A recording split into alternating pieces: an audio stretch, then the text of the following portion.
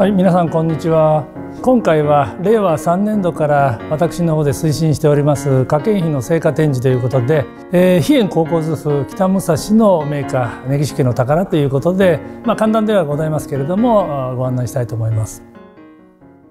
はい、えー、幕末維新期にあって近世からの流れを組む学問の体系化をする前のですねそういう姿勢にいながら地域に出した考古学等をですね一生懸命やった人物、まあ、親子2代にわたっての話になるわけですけどもそもそも根岸家というのはですね熊谷直実を祖として戦国時代にはご北条に仕ええー、そして豊臣方に着いた後ですね今の熊谷の兜山というところに到着して、えー、そして名主として、えー、現在17代まで続く名家ということでございます。11代の雄山という方はですねこれは文武に優れた方で非常に才能あふれる人物でありまして新武書というですね武道の道場を作ったりあるいは山陽道という学問の私塾を作ったりということで、まあ、地域に非常にこう信頼された有能な人物だということなんですね。その息子竹家十二代ですけれども父親の遺徳を継いでですね非常に、まあ、やはり政治や教育にも尽力をしそして自分の趣味のですね考古学の方を中央とネットワークを結びながら明治の初年頃から、まあ、全国の国家と交流を図りコレクションを始めたようですね。特に彼が明治9年12月2日にですね近在の二十歳上中条というところですけれどもそこから埴輪がたくさん発掘されたという情報を得てですね見に行くわけですけれども、まあ、その重要性に気づいて来る年の正月早々にそれらの一群を買い求めまあ、ある意味保護したというそういうことを契機にですね多くの方々との交流を図るわけです。まあ、特に明治10年ですね、えー、黒岩結局その発掘を16期するわけですね。そしてそれが明治11年に柏木海一郎という人物がこの内容をですね東京日日新聞に発表するんですね。そしてがぜ彼の黒岩王傑の発掘が世に知られるようになってさらに多くの人たちが根岸家を訪れるようになります。えー、黒岩結局の噂をですね聞いたシーボルトは明治11年の4月に根岸家を訪問します。えそして、え竹家と共にですねこの黒岩結局を訪れて、えまあ、様々な情報を竹家の方から得るわけでありますけどもその際に竹家さんの方はこの人名録というところにシーボルトの名刺を貼り付けてそして自分で記号してですねその訪問の記録を取っております。まあ、その際にシーボルトは記念にですねここに展示していますギリシャの土偶人というですね、まあ、テラコッタの小さな型から起こしたような人形、まあ、そういったものをですねプレゼントしたということでありますね。まあ、その記録がさらに非現考古図譜の方にですね図解で示されているというところです。シーボルトは日本とヨーロッパの考古学の架け橋をした人物として知られます。特に日本の考古学はジャパニーズ・アーケロジーという本にしたためて海外にそして日本にはヨーロッパ考古学を紹介する考古節約という書物を日本語で出版しているということでその当時の実物が展示されているわけです。えー、エドワード・シルベスター・モースはですね明治10年に日本にやってきます。有名な大森貝塚は横浜から上陸して東海道線を使って東京に行く途中車窓から見つけたということで、まあ、後に発掘してですね日本における近代考古学の父と呼ばれる人物であることは皆さんご存知の通りだと思います、えー、モースもですね明治12年にこの根岸家を訪問しておりましてその際にはその足跡というのはあの訪問記録にはあるんですけども2回目の明治15年の訪問の際にですね、えここにありますモースが根岸家にあった器物を絵にしたためてですね、え記念として残しているわけですね。えー、そして、えー、モースは後にジャパニーズホームズとか、ね、日本滞在時の記録を書物にしております。ジャパンデイバイデイやジャパニーズホームの中にですね、考古学との記録が残されています。このジャパンデイバイデイの中には柏木海一郎やあるいは松浦武四郎の家を訪問して器物を見た記録が残されています。ここに展示されているものは原書でしてその、えー、表紙の裏側にはモースの直筆がサインとして残されていることも極めて貴重なものになっています。ジャパニーズホームズの開いているところにはですねモースが訪問した際の根岸家の家の様子が挿絵で入っております。えー、竹香さんと松浦武四郎との交流は、えー、明治8年頃から知られております。埼玉県の文書館にもその交流を示す記録が4つほど残されておるわけですけれども、まあ、主に竹四郎はこの竹さんが持っている土偶人つまり人物埴輪が欲しくてえ書簡を送って、まあ、その斡旋を流すと。えー、竹子さんの方は松浦武四郎に古銭の収集の指南をいろいろとオファーしてるんですね、えー、そして、えー、まあ自らその古銭を購入してコレクションを体制するというようなそんな行動をしているわけですね。えー、その交流を端的に示す資料として一昨年の夏に発見されたのが今ここにかかっているですね明治14年の年季の入っている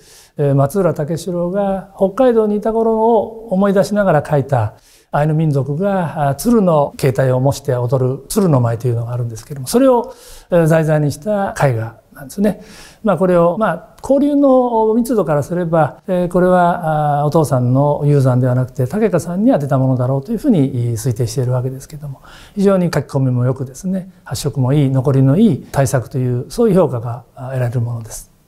えー、美濃道山人は本名土岐健吾と言いまして、えー、岐阜の出身美濃の国ですけれどもそもそも名主の家に生まれたわけですけれども14歳で放浪の旅に出てまあ、生涯を絵描きとして放浪しながら旅をしていくという、まあ、そういう特殊な人生を歩んだ方ですけれども流れ流れて津軽に到達してですね明治20年頃これは神田高平というですね、まあ、当時有名な政治家であり洋学者であり考古家である人物との知識を得てですねそして彼は当時津軽にあった亀ヶ丘の遺跡を発掘してそしてそこから得たものを神田高平等にですね供給するというようなそんな動きをした人物です。この絵はですねえー、南三人が唯一残している埴輪群像図これは今ですね弘前大学に成田コレクションという個人の方が集めた縄文の大コレクションがあるんですけどもそこに混ざって所有されているものですけどもここに描かれている人物埴輪のそのうちの16点が根岸武家の所有物であるということが判明しているんですね。そしてこの埴輪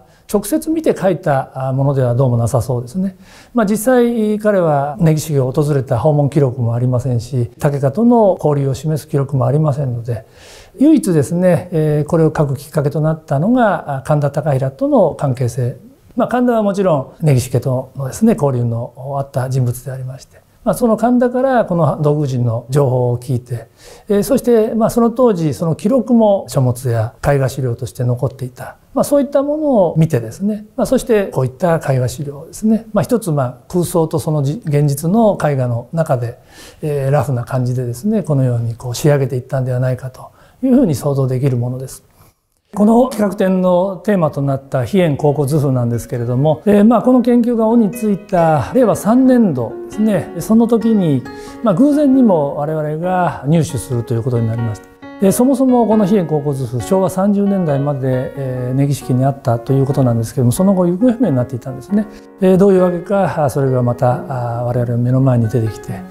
実際のものと根岸武家が集めたコレクション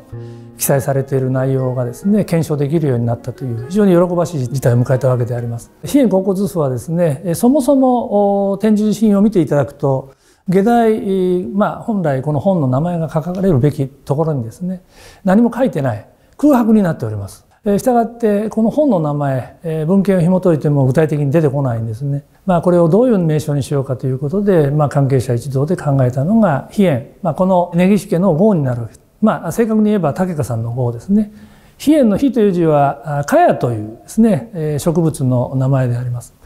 これは根岸家が兜山に土着した時に苗を植えて現在は敷地内で目通り2メートルもあるような大きな大木に成長しているんですね。だから飛燕茅の園え、まあそして高校をよくした竹川さんの業績をたたえてですね飛燕高校そして図譜というまあ、こういう名称にして後世に伝えていくことを決めたわけですね。えー、この人物派には武装男子派にはですけれども、えー、昇格付き兜をかぶりですね炭鉱を履いた非常に有名な埴輪でして、えー、現在は東京国立博物館の所蔵になって国の重要文化財になっています。まあ、これは竹香さんがですね明治9年の12月2日に熊谷近在の上中条というところから当時畑を耕していた人からですね連絡を受けて駆けつけたところその二十歳から大量の埴輪が出てるとその中の一つとして「飛燕高校図譜」の第一種にも記録されております。その記録を見ますとですねその時の状況がですね克明に記録されておりましてえー、竹川さんも非常にこの埴輪については細かなですね記録をこう残したかったんだというそういう意図が見えるわけであります。えー、そしてこの埴輪ですけれども後にですね坪井正五郎が論文としてこの内容を書いてですね埴輪研究の先駆けとして、まあ、学士的にも非常に有名なものとなっているというものであります。この飛燕考古図譜2種にはですね石器類がたくさん記録されています。まあ、主に縄文時代のものですけれどもそれ以外にここに縄文土器が並んでいるんですけども右手の大きいものはですね、えー、まあ今で言えば現物偽物なんですね。それが記録されているということは武田さんはこれは本物として、えーまあ、捉えていたということになるわけですけども明治のこの早い段階でもですね、えー、そういう国家のハトクスールこういう現物が世の中にやはり、えー、まあ、ルフしていたということを示すそういう資料になってるんですね。